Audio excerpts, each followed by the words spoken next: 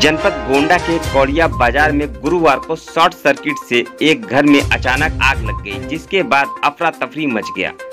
सारा सामान घर का जलकर राख हो गया। गृह स्वामी ने इसकी सूचना स्थानीय पुलिस व फायर ब्रिगेड को दी।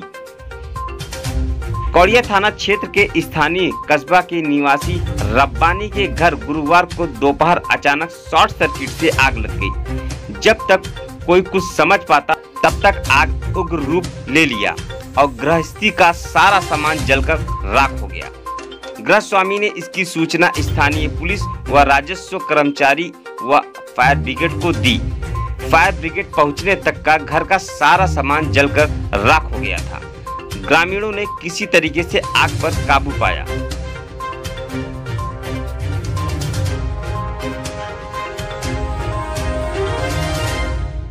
आग आपके यहाँ लगी है?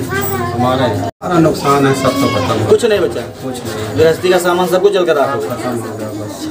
सूचना कह दिया था आपने? सूचना तो सब विभाग को दे चुके हैं। फायर ब्रिगेड वगैरह को बताया था।